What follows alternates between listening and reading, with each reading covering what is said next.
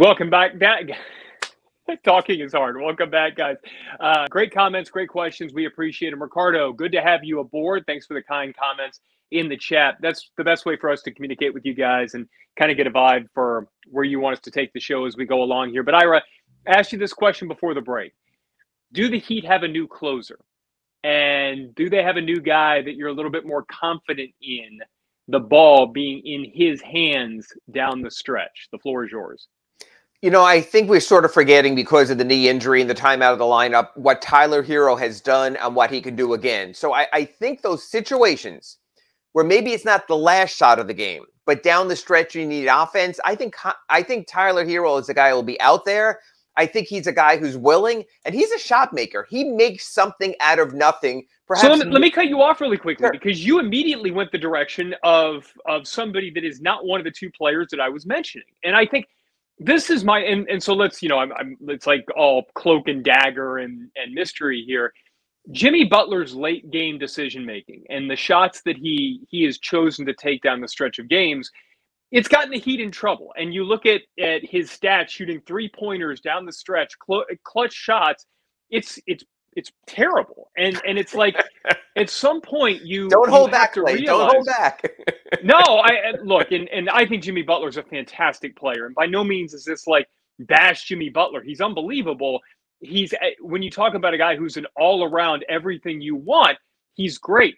The late game stuff has become a problem, and you know it, it, we go back to to missing the layup in Atlanta, and then choosing to shoot three pointers and settle for jumpers when I think everybody knows he's best when he's attacking the basket. He did hit that three pointer in double overtime in Charlotte, but it was after missing two late jumpers, one of them a three pointer at the uh, end of both regulation and, and overtime. overtime. Yeah. Meanwhile, they don't even get to a double overtime if Kyle Lowry doesn't go crazy in overtime. And I'm getting to the point, Ira, where I'm more comfortable with the ball in Kyle Lowry's hands down the stretch.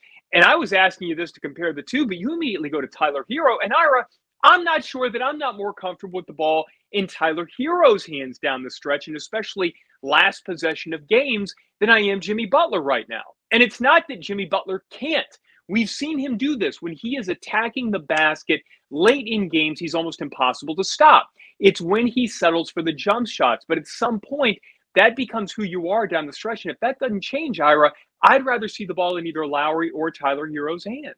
Well, I'm, assuming the uh, that that the Ferraro girls are, are, are at school, so I can maybe curse. But I'll just I'll put it this way: I think Jimmy has taken a what the f approach when it comes to some of this because it's just regular season Clay. I think Jimmy has just been I'm going to shoot the three and go for the win. I'm going to try a shot here that maybe I shouldn't take otherwise because you know what? It's one of 82 and we're in first place and we're having a good season and I'm tired and the game is late. I don't think we're getting clutch Jimmy Butler where it's mentally focused all in. I must win this game right now because this game matters. And I've seen this from some of the guys on the team also. It's sort of, eh, I made it, eh, I missed it, let's go home. You know when the shot when you're down by two and you shoot the three anyway, and it's sort of one of those let's go home shots. How right, many right. Jimmy taken all year? He's taken a ton of them. Dwyane Wade used to take a ton of them during the regular season. Also, look, that's a good similar. We had a similar debate with Dwyane Wade. Why is he? And, and by the, way, let me cut you off again because I love cutting you off. But game game one of the playoffs against the Bucks last year, when it got down to that point, he didn't settle for the three pointer. He drove and he sent it to overtime. So that backs up your point that when it really matters, he yeah, seems to know and rise to w- that This is WTF time of year, and and I know people don't want to hear that because they spent their hard-earned dollars and they spend three hours in front of the TV and they want to see a moment. But I just think that's I think it's completely different in the playoffs. You know, again, all these people are talking about Jimmy not as a closer, and I mentioned this, you know, in, in a previous segment is Jimmy Butler in 2020 was everything you wanted as a closer. When the Heat went to the NBA Finals against the Lakers and the moments along the way there, getting fouled in the final second. What was it against Boston with like two tenths of a second to put the game away when he was fouled on a shot? He's going to be a different player than these guys are pacing themselves. You don't want to hear that, but you also don't want to see Jimmy Butler going down in a heap during a regular season game in Charlotte when you have bigger games ahead of you. Hey, you know what? Kyle Lowry's been this way also. Kyle Lowry could shoot the ball and do a lot more also. But first, it's just December. It's just January. It's just February. I know we're not supposed to talk that way because you try to win every game because there's heat. Capital C, or I don't know the TV, which way it makes it look like a C. Capital C heat culture. But it's not the same, Clay. It's a regular season game. And yes, you'd like to get the W and the higher seed and the home court, but I think there's a completely different mentality, almost to the point when you and I were discussing playoff rotation. I think you do need to take a deep breath and say to yourself, but what about in the playoffs? Will a player one through eight of my rotation be a playoff player? Like we mentioned Omer Yurtseven before. I think he has to grow into that. I think he'd get bullied in the playoffs when it's all or nothing, when your flagrant foul meter gets reset and you're mm-hmm. not going to get a one game suspension. So there's certain players I need to see it in the playoffs. God bless Gabe Vincent. I've never seen it in the playoffs. God bless Caleb Martin. Never seen it in the playoffs. I know what Jimmy in the playoffs is. I know that Kyle Lowry's a playoff son of a bitch. Sorry if the girls are still around, you know, and, and I and I know that he got it done because Toronto won a championship, not just with Kawhi, but with him. So, you and know, we know I Tyler. Think Bam, I think Bam Adebayo, certainly Tyler Herro in the Boston series, Eastern Conference Finals 2020. So we still have to see that. So don't discount Jimmy being playoff Jimmy by what we're seeing now. At times, uh, again, don't aggregate this, but at times some of these guys just don't give an F because they know there's bigger moments ahead. I think in a moment of truth, when Jimmy Butler needs one or two points and knows it could lead to him being, you know, flopping down or going hard to the court, he will do that in the playoffs. I'm not so sure he'll do it in mid February. All right, you talked me down. You actually did change my perspective on this, and I can't believe I'm saying that. That you actually changed, but but it, it's it, it makes more sense when you put it in the context of how much does this game matter? And it's not that the games aren't important, and it's not that that that possession isn't the most important possession of that game, but is it worth risking what you might be risking in that scenario? And also, look, I, I it also made me think of what PJ Tucker said the other night after the Brooklyn game, where they blew whatever a 20 point lead, and they asked him in the post game news conference. I think Anthony asked him the question about you know what what is it that you learn about this team? You know how how do you feel when you when you blow a lead like that? And anthony uses a lot kinder words than i am because he's a really nice guy. Um, but uh, how does it feel when you give up a lead like that and then you just kind of hold on by the skin of your teeth? And pj said i love it. He said look you never want to blow a 20 point lead but you have to figure out ways to pull games out in these moments and it's almost like the Heat veterans, your Jimmy Butlers, your PJ Tuckers, your Kyle Lowry's, even Bam's getting to that point, I think, although he's not quite there yet when it comes to like being, uh, you know, understanding that regular season, uh, Bam's going to go all in with every game. Um, but I think they're starting to get that the regular season is when you figure yourself out for the playoffs more than it is win at all costs. It's you know I, I, remember Phil Jackson was famous famous for this in L.A. that he would let the Lakers blow a 20 point lead and he would never call a timeout. And and I mean the announcers would be screaming. I used to listen to, to Chick Hearn and Stu Lantz do the games and and Chick, uh, he's not calling a timeout. Why isn't he calling a timeout?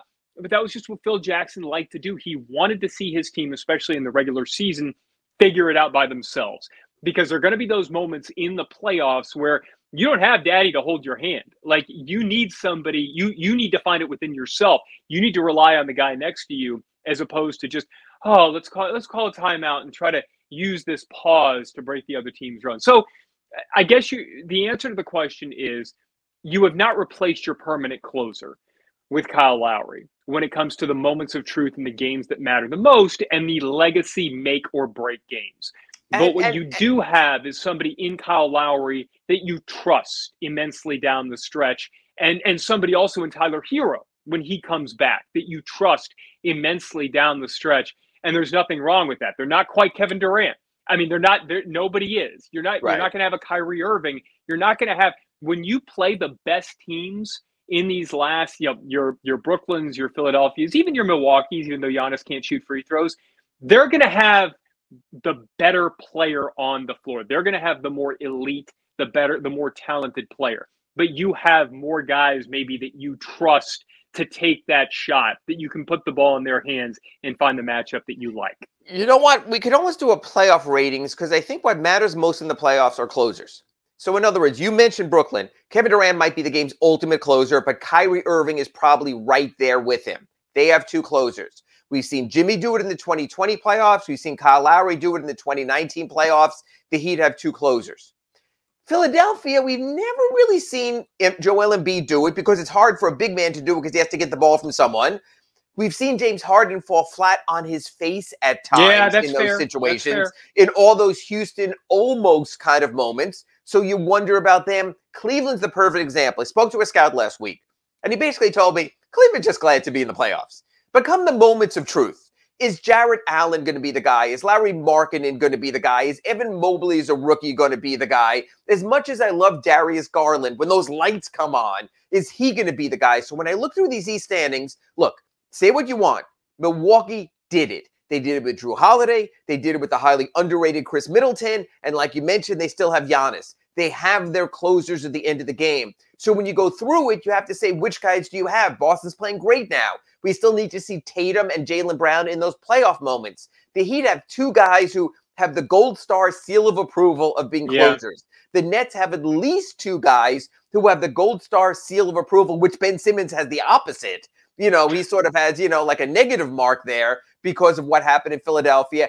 Your playoffs are going to come down to your closers. I feel confident that the Heat have at least two, and maybe Tyler Herro, if you can mask his defense, can be the third guy for you there also. That's what matters. So when we look at the standings, it doesn't matter how the jumble works out. It matters in those series who's going to step forward. I still think Kyle Lowry will step forward. I still think Jimmy Butler will step forward because they have to step forward. I don't know why this didn't hit me before, but you mentioned Brooklyn and, and Kyrie and Kevin Durant. And then you also go back to, hey, uh, you know, the mayor of New York is may ultimately decide how far Brooklyn can go in the playoffs. Did Goran pick Brooklyn on the off chance that he has to be Kyrie at home?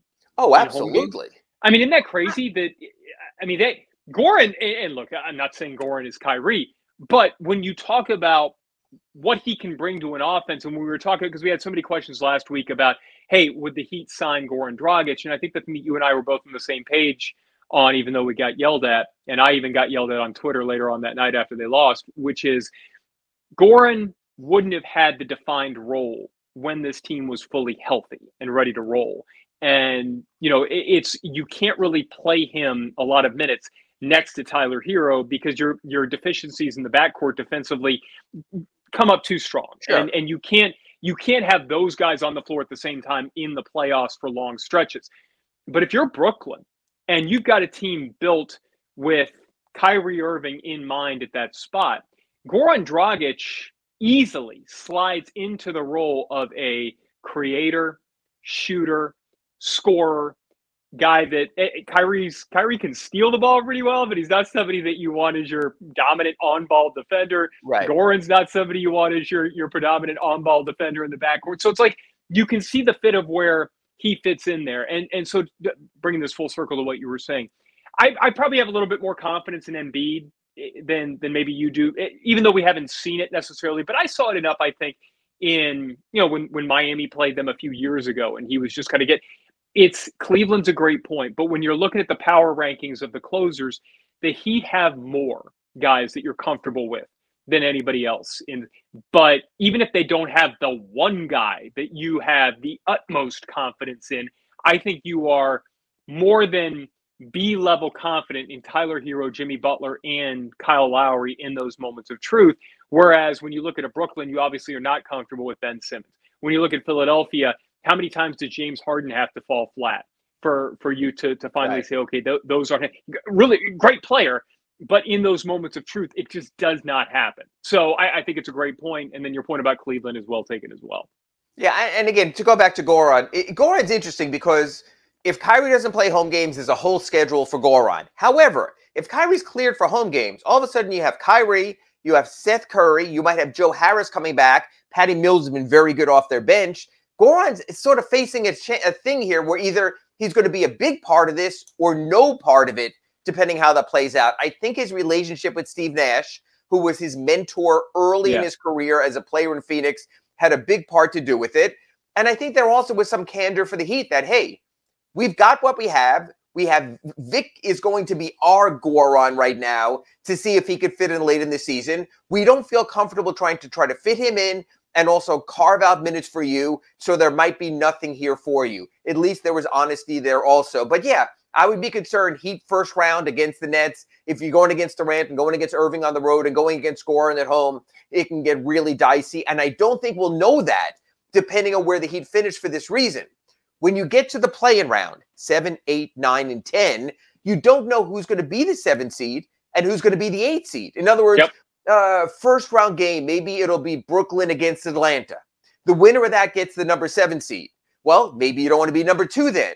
But the loser of that could wind up being the number eight seed. So maybe you didn't want to be number one, so, really, if you want to avoid either of those teams, you might want to drop down and be the number three seed and say, okay, we'll take our chances with Boston or Toronto. Leading sort of full circle, I don't think you can play the seeding games because when the season ends, when we hit that April 10th, that Sunday, you still won't know who the seven or eight seed in your conference is. And you probably possibly won't know that until Wednesday or Thursday of that week. That's where it gets interesting. You can't play that game. You might as well go for it. The greater good and Jason both bring up really interesting points I want to get to in the next segment. One about Tyler Herro and his role coming off the bench. And also, it kind of blends into what you were just saying about Goran and Oladipo. Uh, and then also a question about Duncan Robinson and the fact that we've seen him come off the bench and, and, and play pretty well too. But I think this is a different scenario. We'll explain why. That and a lot more coming up right here on Inside the Paint.